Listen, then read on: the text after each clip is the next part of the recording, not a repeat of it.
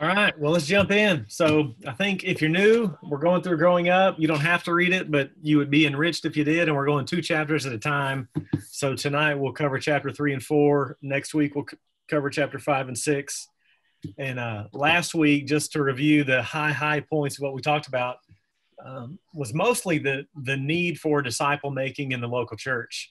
And we looked at a couple key passages, of course, the Great Commission, which we want to just never tire of talking about and pushing as what the church needs to be about, and that is making disciples everywhere we go and baptizing and then teaching everything that Jesus taught. It's it's the fundamental calling of the local church, and it's the fundamental calling of every Christian. It's not just for missionaries. It's not just for Africa. It's for Abilene as well. So that main verb, make disciples, who make disciples, and again, that's one of Southside's core values, and we want to constantly be growing in that and then Second Timothy 2 2, the idea of passing on. So even tonight, as we're learning, any sermon, anytime you're engaging God's word, not only for your own benefit, but thinking, how can I pass it on to others? Who will then pass it on to others? Who will then pass it on to others?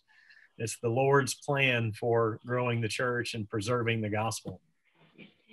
And then with, with multiplication in mind as well. So the idea is with your discipleship group, however many end up, that them going and doing the same doing the same, doing the same, and seeing just how much potential there is when we do that.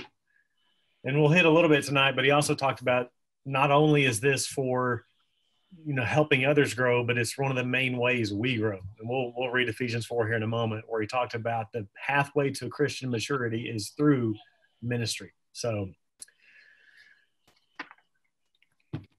Uh, before we jump into chapter three, the stat that I see again and again and again and again from different people too. Lots of people have done these studies, and I'm typically pretty skeptical of studies. But when you have you have multiple places doing multiple studies and coming at the same number regularly, I tend to give them a little bit of credibility. Uh, one of those, not topic tonight, one of those is giving. Again and again and again, you see that uh, even Bible believing Christians give somewhere between 2.5 and 2.8 percent of their income. You see that again and again from different perspectives, which uh, lends me to think there's something to it. The other one, though, is this idea of kids who are raised in the church and then fall away at some point, usually pretty quickly in college. And the numbers ranges from 60 to 80 and I think uh, I, there was a pretty recent one by Lifeway, and of course, Lifeway is a credible organization, and theirs was around 70. Um, so we've got to ask what's going on there. And I think one, there's lots of things I think we could say, but one of the things that that I think we got to think about is this lack of discipleship. And we, as Southern Baptists in particular, are really good at evangelism and missions. That's been our thing. It's really why the convention was started way back when but one of our weaknesses is we put a lot of effort into winning souls. That's a that's a strength. But one of the weaknesses, not nearly enough effort in keeping them and making disciples. And so we put so much effort and stock into just getting that decision, just get them to pray a prayer and then act like that's all that needs to be done by the church. Well, biblically, that's just the beginning. That's a great thing we want to celebrate, but that is not the finish line. That's the starting line. And then we've got a lot of work to do to make disciples who make disciples. So, you know, we love to see see those decisions, but you know what I celebrate even more is seeing people finish well. Not only start well, but finish well. And discipleship is one of the main ways we get there. So, let's if you've got the book, let's jump into chapter three uh, and go ahead and grab your Bibles and turn over to Ephesians chapter four.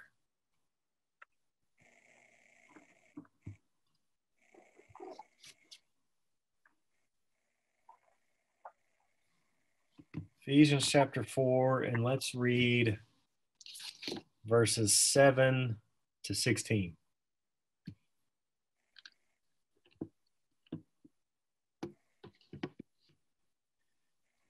Ephesians 4 7. But grace was given to each one of us according to the measure of Christ's gift. Therefore, it says, and he quotes a psalm, when he ascended on high, he led a host of captives and he gave gifts to men. In saying he ascended, what does it mean but that he also descended into the lower regions of the earth? He who descended is the one who also ascended far above all the heavens that he might fill all things. Now that's a little bit wordy, but the basic point he's making is Jesus is the victor who now gives gifts.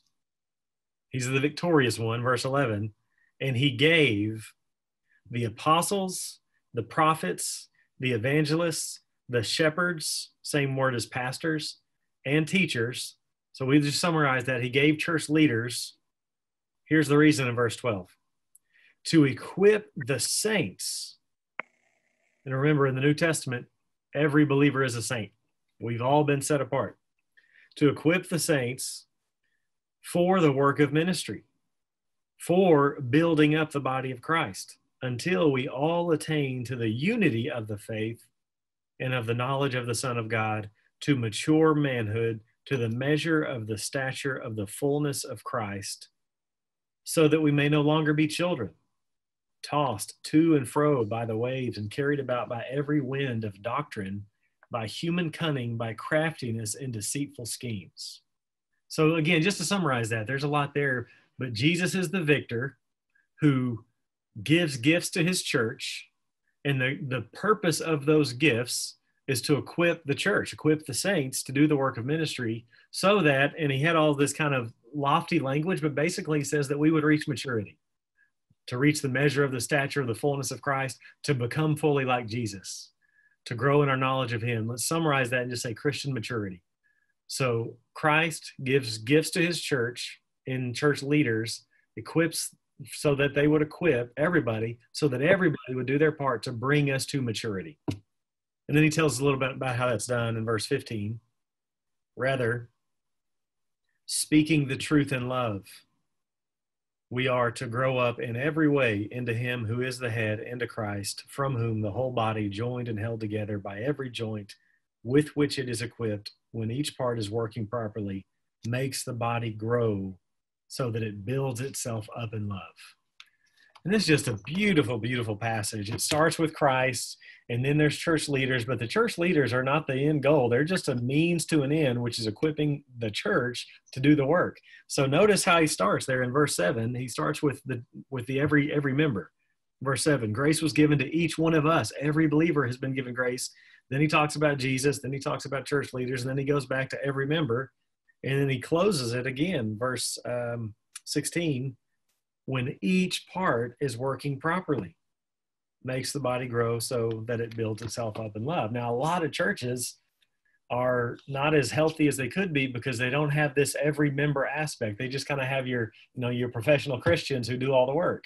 And the believers then just come, they just come and sit and attend and and never do anything. We've got this kind of clergy laity distinction that we've inherited really from the Catholic Church that's just unbiblical.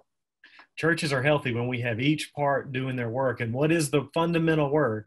Helping others grow in Christ, helping others mature. That's the whole point of D groups. So that's that's where we're at. Let me stop there. Any questions on Ephesians 4, this vision, before we, we jump into chapter 3?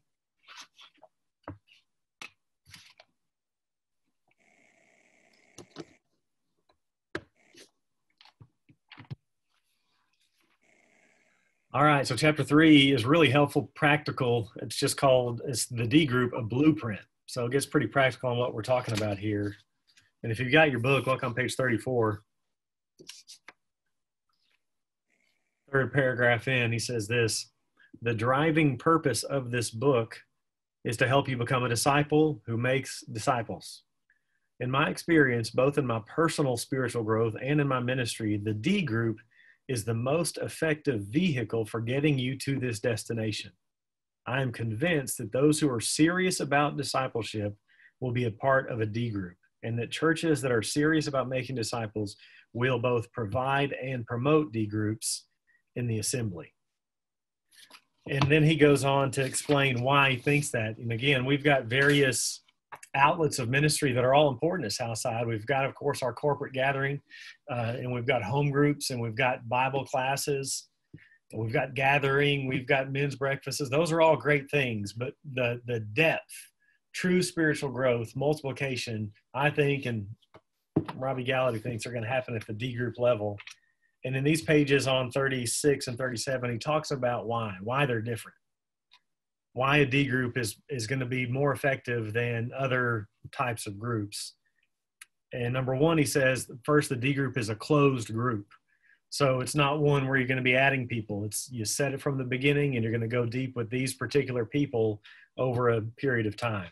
Unlike a home group or unlike a Bible study class, they can be fluid sometimes. Some of our home groups are closed uh, for this reason. Number two, he says, the purpose is different. And so, home group, a lot of it is community and fellowship.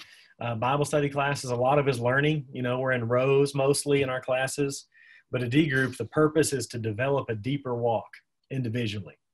Uh, and then, thirdly, lastly, uh, he talks about it being a, a more intimate, accountable relationship. Again, by nature of two things, really. Number one, the size, because if it's smaller, you're going to gain trust and feel feel better about sharing struggles. And then uh, number two, the same gender thing. Is we'll talk about confession of sin a little bit and how that plays out. And in the D group, he talks about three dynamics that you're going to find. You're going to find number one, unity as you grow together. And then number two, you're going to find accountability. And then multiplication in a unique way in a D group. So unity in community. Flip over to Acts chapter 2.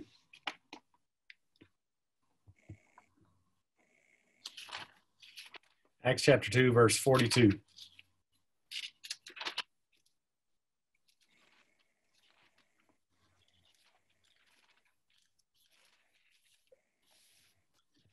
Beautiful picture of the life of the early church. Let's let's just read uh, 42 to 44. And remember, just just a little bit of context. Obviously, the church really has just started. This is right after Pentecost. The Spirit's been given. Verse 42, and they devoted themselves to the apostles' teaching, the fellowship, to the breaking of bread, and the prayers. And awe came upon every soul, and many wonders and signs were being done through the apostles, and all who believed were together and had all things in common. So you, the Spirit then creates unity in community. And that's where a D group can go really deep. And again, when our goal is multiplication, not only emphasizing reaching other believers, but even unbelievers, that's I think when when real depth of community begins, when you're on mission together whether the mission is growing in Christ likeness or reaching unbelievers. That's why I would often say, and I don't think it's original to me, but this Acts 2 community does not come without Acts 1 mission. Acts 1 8, Jesus says, Go and be my witnesses. You'll receive power and you'll be witnesses. So the reason they were able to grow deep is because they were on mission together. And probably all of you experienced that. You know, when you go out and you do work together for the Lord, you're just knit, right? How many of you been on like even if it's just a week long mission trip? Like maybe it was maybe you went to college and it was a college mission trip right? You didn't know those people probably most of them before you went and you went together on mission for one week and they're still friends. And you can pick back up. There's just something that the spirit does to bond us together when we're on mission together. So unity and community. You go deep. You get to know one another really well. You have true biblical fellowship. And in the book he he says fellowship is like uh, two fellows in the same ship. The idea again, together on mission, going somewhere. So a D group uniquely provides community, depth of relationship. And again, we're just talking about Christian friendship here. And then number two, uh, a D group uniquely brings accountability. Because again, you're able to get to know one another, you're able to gain trust, and you're able to ask hard questions. And he helpfully lays out some things about accountability in here. He says that accountability requires confidentiality, it requires confrontation, it requires confession, and it requires uh, compassion. So, confrontation. Uh, and again, we all need this we all need loving exhortation from one another. And so he uses Matthew 18. He mentions Galatians 6 1. If anyone is caught in any transgression, you who have the Spirit should restore such a one in a spirit of gentleness, bearing one another's burdens. So we need that. We need people as we begin to stray to be restored. when we get caught in transgression, a brother or sister that can restore us. So confrontation, we we we just gotta get used to it and we've got to even value it. Then confession. James 5:16 says confess your sins to one another. You don't have to answer anything, but let me just let me just ask, is there anyone in your life that you conf- you're able to confess your sins to? The Bible says we ought to confess them to one another. So there's an assumption there that we have that that outlet. First John 1, 9 and 10. Many of you know this one. If we confess our sins, God is faithful and just to forgive us our sins and to cleanse us from all unrighteousness. So confession is absolutely vital. Then John goes on to say, if we say we have not sinned, we make him a liar and his word is not in us. So to say, you know what, I don't I don't need confession, you're, you're calling God a liar and the word's not in you because we're all sinners and we will continue to fight sin. That's another way to describe this is we are fighting sin together. In fact, um, this book's new to me, but a book that I've really been influenced by with D groups is a book called uh, Gospel Centered Discipleship. And they don't call them D groups in that book. He calls them fight clubs. Now, I don't, I don't like that terminology, but the idea is fighting sin together. I do like that idea. So we need to be, D groups provide an opportunity for confrontation, someone that can ask us the hard questions, confession, so we can confess our sins to one another, and then the third one is uh, compassion. Compassion. Oh, sorry, I, I missed confidentiality. I, I missed that. He starts out there, obviously, in a D group, when you're sharing sin, there just has to be right up front what is confessed in this group stays in this group. And this is where it's just from the get go. And there's there's a covenant in the appendix, we'll get there later, that, that I've recommend using with discipleship groups where you sign off uh, a that you're committed to seeing this thing through but part of it is that you're going to be confidential. And so it's a group that can uh, that can be you can trust. So that's that needs to be an assumption uh, going into it. So confidentiality confrontation confession and then compassion as sin is confessed. 1 corinthians 10 12 let anyone who thinks that he stands take heed lest he fall in galatians 6 that passage uh, says something really similar let me read it all the idea is that none of us are very far. We're, we're all in this together. We're all weak. We share that. And so when there's confession of sin, there is no judgment, right? There's compassion. So Galatians 6 1, let me read the full context. Brothers, if anyone's caught in any transgression, you who are spiritual should restore him in a spirit of gentleness. Keep watch on yourself, lest you too be tempted. Bear one another's brothers' burdens, and so fulfill the law of Christ. Because as people confess or as we confront, the tendency is for us to think we're better. And so Paul says in Corinth and Galatia, hey, take heed lest you fall. Watch yourself. And then the last piece is multiplication that, that makes a D group unique. So you're meeting with three or four people with the goal that those three or four people will go meet with three or four people and on and on and on. So those are some ways that uh, that make a D group the secret sauce of discipleship because of its size and gender exclusion and, and purposes. And then again, he hits it again just with Jesus' model. You know, if he's our Lord, we ought to follow what he does. And he had a, he had the large group, he had the small group of 12, and then he had his three, right? And he was Jesus. He was the King of Kings, the Lord of Lords. He could have done whatever he wanted. He stayed small because he invested his life into these uh, these three men in particular. Gallaty says that four is a really good number, really good ideal number, and of course, gender exclusive, men with men, women with women. Uh, he has a little section in here if you're reading it, if you're interested on why he doesn't think one-on-one is actually the best route. Uh, I, for me, I'm not going to discourage one-on-one. I'm not going to discourage any type of disciple making that's happening, but I tend to agree that you can be more effective with two, three, four, five. And he's got a few pages on why he thinks so. That's on page 47 and following if you if you've got the book. He has an appendix in here on some examples, and he's he's stealing these, using these from John Wesley. John Wesley and George Whitefield and Charles Wesley had had a group like this. I think they called it the Holy Club.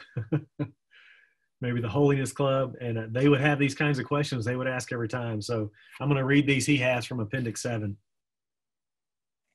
And these are questions that can just be the norm. You can, you know, you can use few of them, use all of them, change them. But the idea is you're getting together and you're going to be serious about following the Lord. Number one, have you spent time in the Word and in prayer this week? And if you're in a D group and you know you're going to be asked that next Tuesday, you're probably going to make a little bit of extra effort to be in the Word and prayer. Number two, have you shared the gospel or your testimony with an unbeliever this week? And what's so exciting to me about this type of question is also in your prayer time as you pray for specific people. You know, you get two, three, four people together and you're praying for your neighbor, John, and looking for opportunities. That's just exciting to see. It's just going to build in intentionality or accountability. That's number two. Number three, have you spent quality time with your family this week? Number four, have you viewed anything immoral this week? Number five, have you had any lustful thoughts or tempting attitudes this week? Number six, have you told any lies or half truths to put yourself in a positive light before others? Number seven, have you participated in anything unethical this week? And number eight, have you lied about any of your answers today? and so, again, you can use those, you can modify those, but the idea is you're fighting sin together, you're intentionally walking with Christ together. That's the D group blueprint in a nutshell. Let me stop there. Did y'all have any insights from chapter three or any questions, comments about what we covered in chapter three?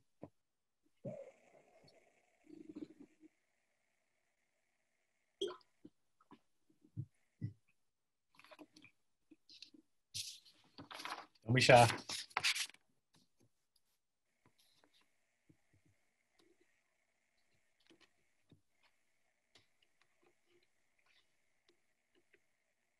Hey, Blake, can you speak a little bit into why you think uh, signing a covenant beforehand can be helpful in this context? Yeah, yeah. Let me let me open up his real quick.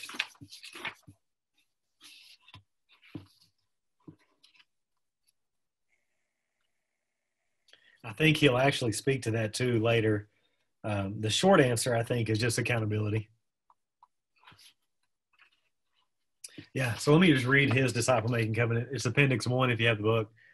I will commit to the following expectations. Number one, I pledge myself fully to the Lord with the anticipation that I'm entering a time of accelerated spiritual transformation. Number two, I'll meet with my D group for approximately one and one and a half hours every week, unless providentially hindered.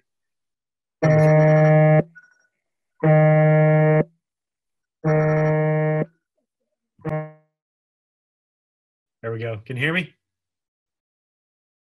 Okay. Um, number three, I will complete all assignments on a weekly basis before my D group meeting in order to contribute to the discussion. Number four, I will contribute to an atmosphere of confidentiality, honesty, and transparency for the edification of others in the group, as well as my own spiritual growth. Number five, I will pray every week for the other men or women who are on the discipleship journey with me.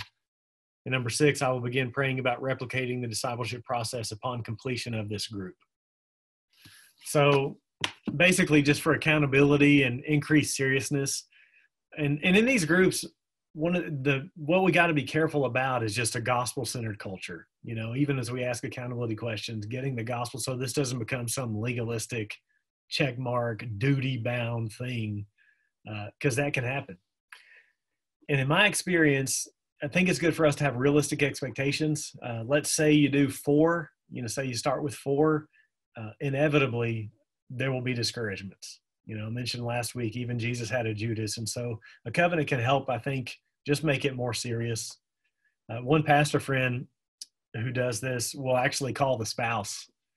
Uh, his is a little it's a little different structure. In in our setting i think you can do the d group and not actually lose really lose about an hour a week. You can get up early. You can do it later. In his context he would have like a an evening. So basically he lost an evening the the, the person in the class would lose an evening so he would call the spouse and just get the he might even have them sign a covenant but basically hey i need you in this i need you to, to help your spouse make it to this and trust me in 10 12 weeks whatever it is you'll thank me because he'll be he'll be a better man because of this but i need you to help enable him to to make it kind of thing But if you're uncomfortable with it, I'm, I would not require such a thing. I don't know that I, the last couple that I've done, I don't think I did a covenant.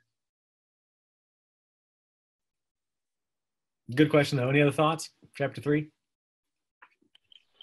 Yeah, I had a question. Um, know what? On page 50, there's that um, highlight the benefits of, of, a group of three to five. What are some potential challenges of a group of this size? My experience has been basically one on one, maybe maybe three total people. You know, uh, when I was discipled and and groups that I've been in. So, uh, anybody want to speak to challenges when you have a group of three to five?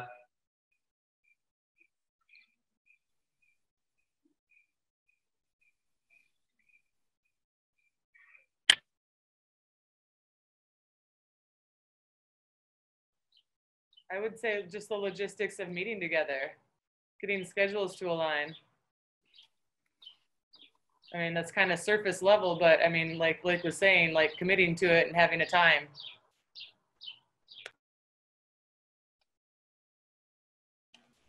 I think another one can just be sometimes there's a dominator of conversation and a not dominator of conversation. So somebody that just like slides in and then somebody that takes all of the whoever's leading it their time or they have bigger quote unquote problems and so you spend seems like every week talking about the same person's life a lot or something. So potentially. Something to be managed.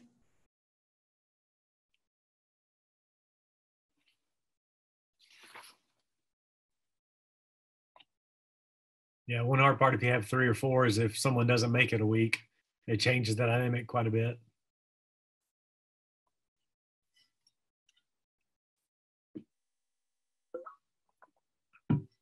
but again, I think I think there's flexibility. I, I, I tend to agree that that Gallaty's are right about the most effectiveness, but maybe you're like, you know what, I'm I'm just not comfortable with that. I'm gonna do one, or maybe you're like, you know what, I'm gonna do eight.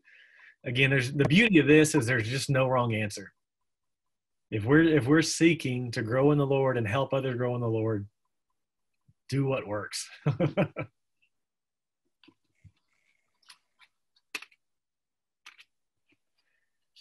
and Lord willing, we've all got lots of years ahead of us. We can try it all.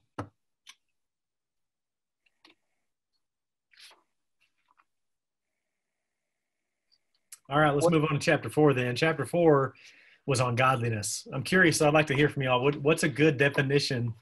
Maybe maybe you read. You've got the cheater answer, but uh, what what does it mean to be godly? Or let me ask it this way: maybe, what do you think of when you hear that person is godly?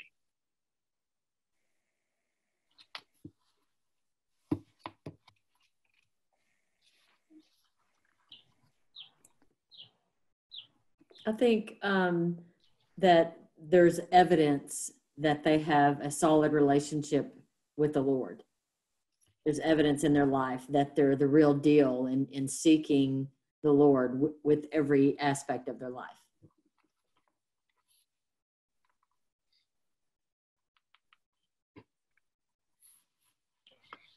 I think the word surrender comes to mind, like they're surrendered to God um, not a slave or not um, not to-do lists or you know but surrendered and having a personal relationship with god.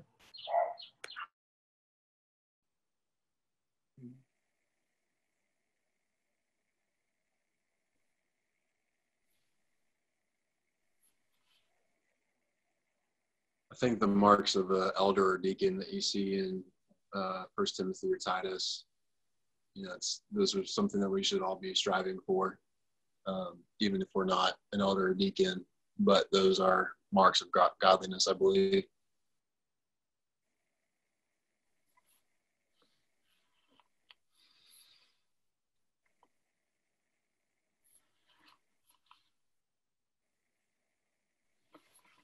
I it's probably someone that you automatically think of that you can trust and uh, he stresses confidentiality in all of his lessons. Can't hear me, can you? Yeah, yeah, I can now. Someone you can trust.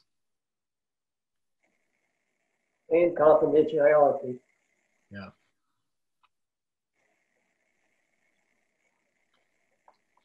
Yeah, those are good.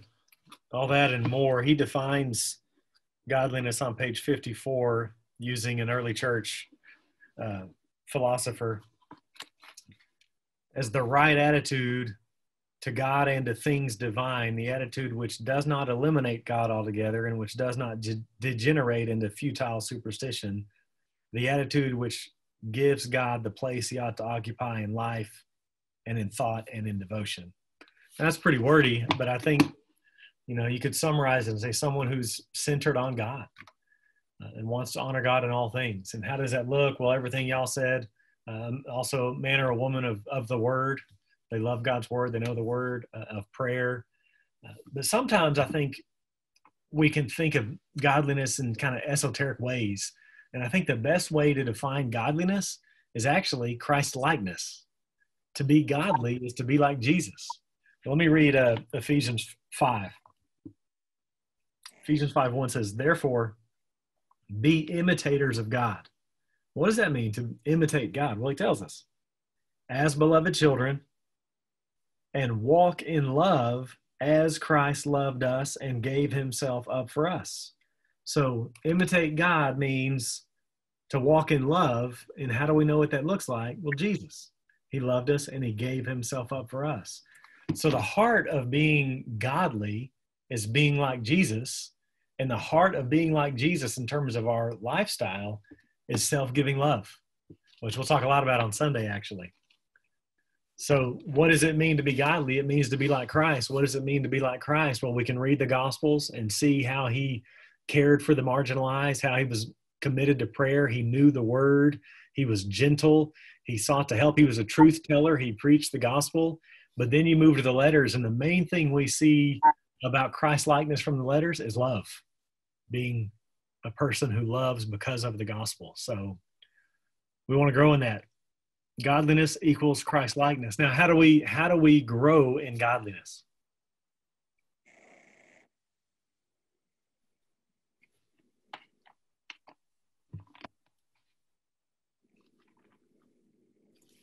Well, you you emulate people that you spend a lot of time with. You end up picking up their their mannerisms and their gestures. And so the only way that we can do that is to immerse ourselves in the word.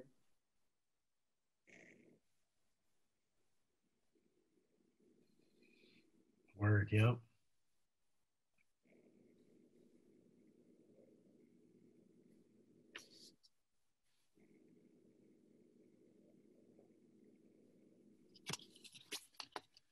In the book, uh, Gallaty mentions God has three primary, he calls them change agents. So, means that God uses to change us, means that God has given us to grow in godliness.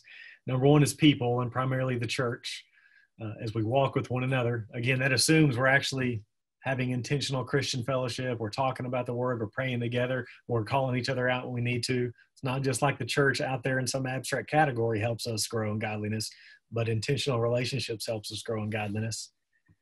Uh, and then he mentioned circumstances.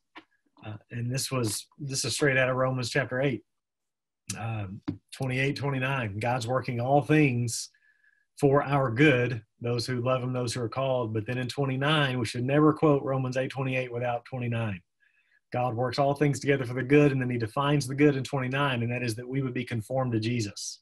So God is using circumstances to conform us to Jesus. And this was in large part what the sermon was about on Sunday, especially in terms of relationships. And if you're spending more time together, well, God's going to use that to conform us to Jesus if we'll lean into it. And we have no control over that, though, right?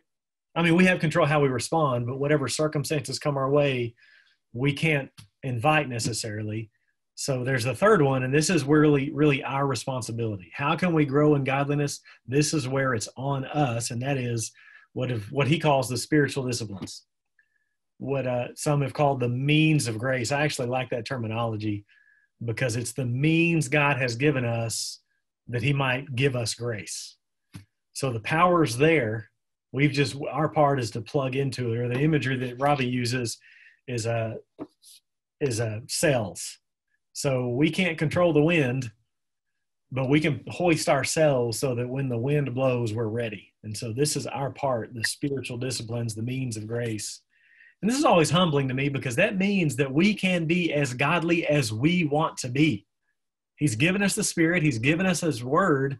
And so if we are not growing in godliness, it's on us because He's given us what we need. We want to grow in patience and love and, and, uh, and meekness and gentleness and love. Well, God's given the Word, He's given the Spirit. And so we have some means of grace then to grow in that direction. Flip over to First Timothy 4.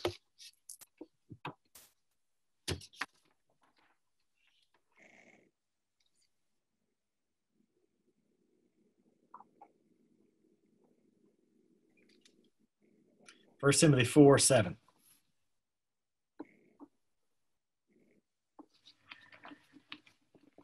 Four, seven, and eight have nothing to do with irreverent, silly myths. Rather, train yourself for godliness. For while bodily training is of some value, godliness is of value in every way, as it holds promise for the present life and also for the life to come. Really great verse. Um, the the the verb for train is gymnazo. You can hear our word in there, right? Gymnasium. So we train. It's an active tense. It's a command. We are to train, and uh, training is not easy, right? I feel like for three years I've been trying to run a 5K, and inevitably at some point something gets hurt. It's hard. It's painful. He mentioned losing weight right? There's no quick fixes to losing weight. Especially with uh, quarantine right? Y'all heard the uh, you know you got your freshman 15 you heard of the quarantine 15 i saw some I saw a couple memes going around. One was like a lady or a man wearing a mask in the house. Like, why are you wearing a mask in the house? And well, it's just to stop me from comfort eating every 10 minutes. or uh, one, I saw one picture on a fridge and it was, it was like preaching to herself. She's like, girl, you do not need this. You just ate 10 minutes ago. Girl, bye. So there's no quick fixes to losing weight. There's no quick fixes to godliness. That's why when you see someone who's godly, you know, someone who's holy, it's not as if they're specially gifted or they have some shortcut or they were born with it. You're looking at a person that has worked year after year after year after year over time. So to grow in godliness is really hard work. You know, we always like to say it's harder today. I don't know if that's true, but one thing that our generation does have that other generations did not have is the internet and social media and smartphones. And so much of the spiritual disciplines have to do with with sustained attention, whether it be reading the word or praying or meditating on scripture or memorizing scripture. That's all mind work. And the mind is a really important thing in scripture, right? Romans 12 is where we're at through the renewal of the mind, we're transformed. And so when our smartphones and social media and internet has trained our attention span to be like three seconds long now, we are in an uphill battle to grow in godliness. Since the means he's given us all have to do with how we focus our attention.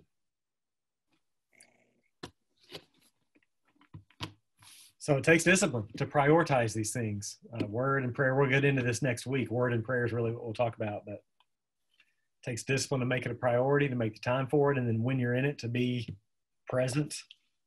One of the things I'm excited about that uh, I haven't been doing that we'll talk about later in this book is really just pulling out one. You know, because you say you read, even if you're just doing F260 and doing one chapter, uh, like today, let's say that you read, if I were to put you on the spot and say, tell me about what you read probably you just have fogginess, fogginess.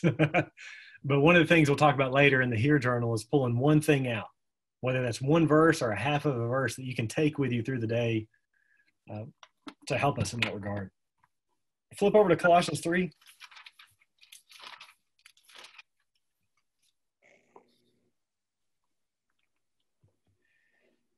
Uh, Robby Gallaty's a really, really buff dude, so he has a lot of uh, time at the gym and a lot of gym analogies. And he talks about at one point he was a bouncer and then a trainer after he got saved. And he would notice that those who would find successful at the gym are those who have a plan. And uh, we'll talk about it more, but you got to have a plan in order to successfully do the means of grace over the long haul. Let's read Colossians 3 8. As we talk about growing in godliness, pretty crucial passage. In fact, let's start at verse 5. In fact, let's start at verse 1. If then you've been raised with Christ, seek the things that are above where Christ is, seated at the right hand of God. Set your minds on things that are above, not on things that are on earth. For you have died, and your life is hidden with Christ in God. When Christ, who is your life, appears, then you also will appear with him in glory. Put to death, therefore, what is earthly in you sexual immorality, impurity, passion, evil desire, and covetousness, which is idolatry. On account of these, the wrath of God is coming. In these you too once walked when you were living in them, but now you must put them all away anger, wrath, malice, slander, and obscene talk from your mouth.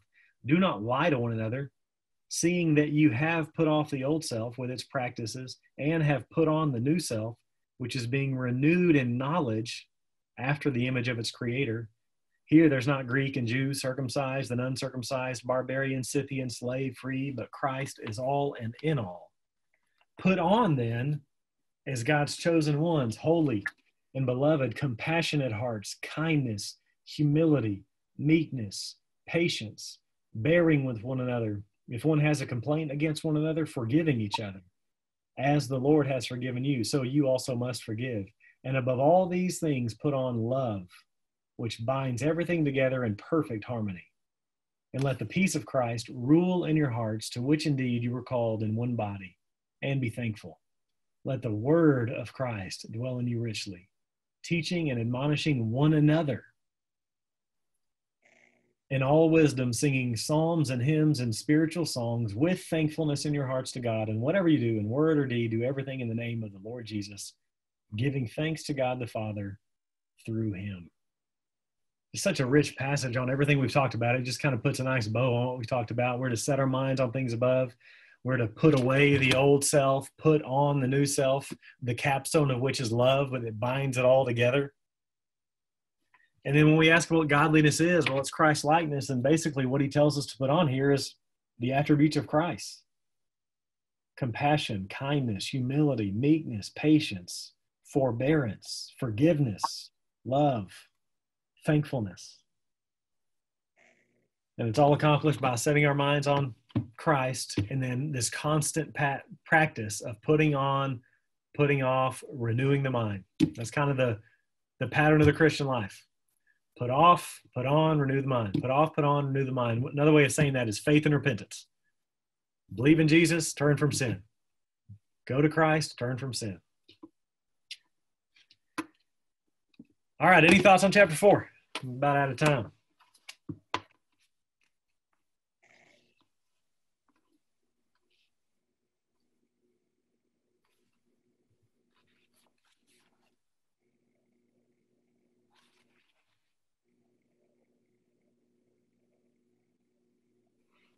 pretty short chapter. Yeah, it's it's really convicting. I mean, especially just in seeing the text that you read, thinking along the lines of uh, God empowers us to do these things, and so if we're not growing in godliness, I mean, we're the ones to blame here. I mean, just here in Colossians three, if we've been raised with Christ, we have this resurrection power within us. Verse five, put to death. Verse twelve, put on. And so God equips us to be able to do these things. And so if these things are not happening in us, I mean, this this text directs us uh, where to point the blame, point the finger, and you know that comes back at ourselves. So that's really convicting. I've, I've heard it put this way. On the flip side, when we give in to sin, I mean, we chose what we wanted uh, because God gives us the way out. By the Spirit, He gives us a way to fight sin, to avoid temptation, those types of things. And so uh, I'm encouraged, but I'm also convicted at the same time by this text. So that's good.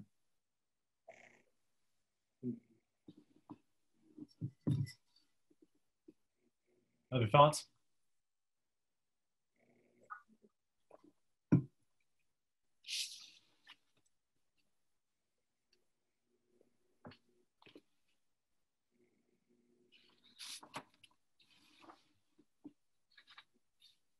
Blake, I'm curious, you shared last week um, kind of the negative example of someone that you asked to mentor you early on when you got saved. And he's like, I don't know anything. Um, what was your first positive experience, or um, what did that turn into for you eventually with someone else?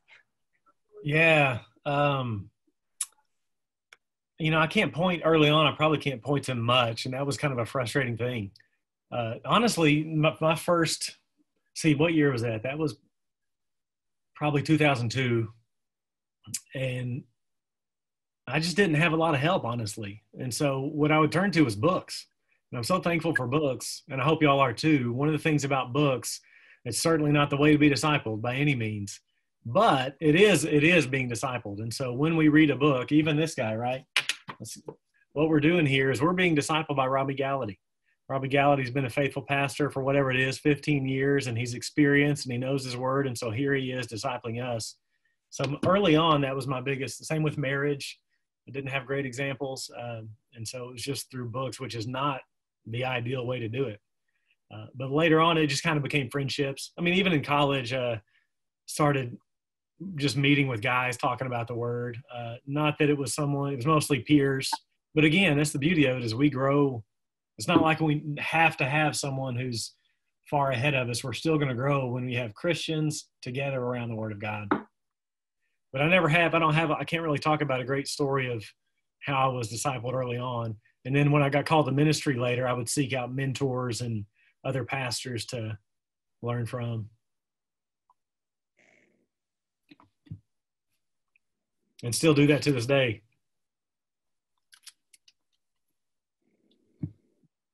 Any other thoughts on chapter four, godliness?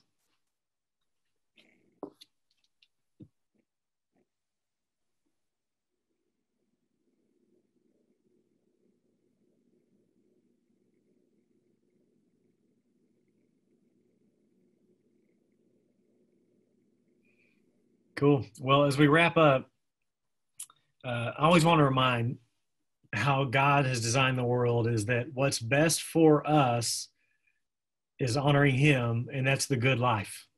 And so when we talk about godliness, sometimes we could think of like monks or esoteric people or really like distant people. And that's just not the vision the Bible gives us. Even just what we read in Colossians 3 godliness is the good life. And so when we're growing in godliness, everything else in our life is affected, right? As we're pursuing the Lord, it affects everything, everything from relationships to parenting to anxiety to discouragement to purpose to me, all that. And so, who doesn't want to become a person who's able to suffer better during pandemics or who's more patient with people when they're with them for long periods of time or who's more forbearing or who's able to forgive quickly or who's gentle or who's joyful? Right? This picture of godliness is the good life where joy is found. So we ought not coming away, even though we're talking about discipline, we're not talking about drudgery. We're talking about being formed uh, really to have true joy regardless of how things are going outside of us. And that's what we want to do is help others do the same. Help others have true joy. True joy is found in following the Lord. And John Piper famously has uh, said that God is most glorified in us when we are most satisfied in Him. And it's just the kindness of the Lord that He has designed the world in such a way is that we grow in godliness, we grow in joy, and then we better glorify Him. So it's just it's just beautiful how He set this world up for us. I think about Philippians one where Paul's talking about his ministry to the church at Philippi and the way, and so this is our ministry to help others. And this is how we should view our helping others in D groups, part of it he's going to remain. We want to remain and continue with whoever we're with. And he says in Philippians 1 25, for your progress and joy in the faith. That's what we're about in our own walks and then with others. We want to help people progress and help them have joy in the faith because at the end of the day, it's the only place true joy is found. So, all right. Well, hey, thanks for tuning in. Um, next week, we'll cover the next two chapters. If you can grab it or grab it on Kindle and we'll talk about uh, prayer and the word. So let me pray for us and we'll be dismissed. God, thank you for your kindness to us. Thank you for the Gallatys and gifting them to, to help equip us. And thank you for your plan that you've left the church. You haven't left us uh, to ourselves, but you've you've given gifts to the church in the form of leadership who have a job to equip the saints so that we might all do our part to see the body grow and mature. And really, this is what we ought to be giving our life to in so many ways. And thank you that in it we find joy and we find growth, we find maturity through ministry. And I pray that you would continue to equip us, encourage us, set us on fire for your glory, that we might be more zealous about you. And Lord, we do pray for our church. We pray for uh, Jolene and Betty in particular, that you would be with them as they suffer alone, that you would be their portion, you would be near to them, that their faith in you would be strong, and that even though there's much to be discouraged about, that they would be encouraged by the good news of the gospel. They would feel your love in a special way. And I pray that we would get through this soon uh, for their sake and for our sake. Thank you for some semblance of good news uh, with the governor and pray that that would just continue. And we look forward to getting back together. Uh, Lord, help us not to waste this time. Be with us tonight and the rest of the week. We pray it in the strong name of Jesus. Amen.